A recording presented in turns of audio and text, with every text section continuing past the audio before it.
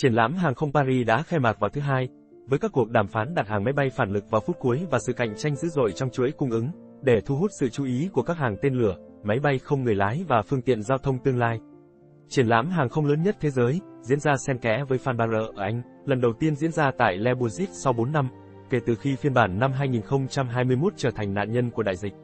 Tổng thống Pháp, Emmanuel Macron đã bay tới khu chợ hàng không vũ trụ đông đúc bằng trực thăng và xem một màn trình diễn bay, bao gồm sự phát triển máy bay phản lực mới nhất của Airbus A321XLA và lực lượng không quân, bao gồm cả máy bay chiến đấu Rafale của Pháp. Máy bay chiến đấu F-35 của Mỹ sẽ bay muộn hơn.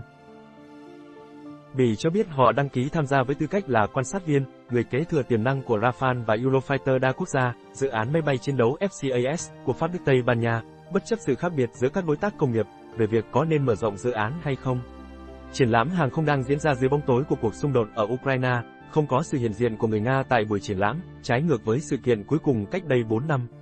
Một số quan chức Ukraine và các công ty hàng không vũ trụ dự kiến sẽ có mặt tại triển lãm. Thales của Pháp đã công bố một hợp đồng từ Indonesia cho 13 radar giám sát đường không tầm xa.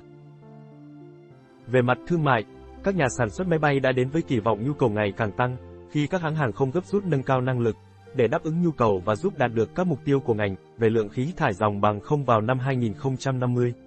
Nhưng họ cũng phải đối mặt với thách thức đáp ứng nhu cầu đó, khi các nhà cung cấp phải vật lộn với chi phí gia tăng, thiếu linh kiện và khan hiếm lao động lành nghề sau đại dịch.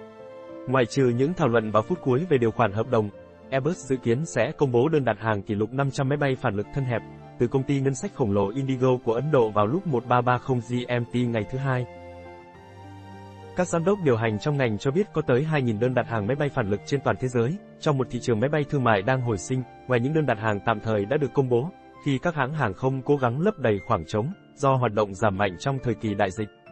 Họ cho biết chỉ một phần trong số các giao dịch mới tiềm năng này, sẵn sàng kịp thời cho buổi triển lãm hàng không tuần này. Sự kiện có thể chứng kiến sự kết hợp của các tin tức và lặp lại các thông báo. Airbus đã xác nhận rằng Qantas đang thực hiện các tùy chọn cho 9 chiếc A220 nữa, theo thông báo của hãng hàng không này trong năm nay. Điều quan trọng là số lượng đặt hàng cuối năm, đối tác đại lý SAS Tusa cho biết.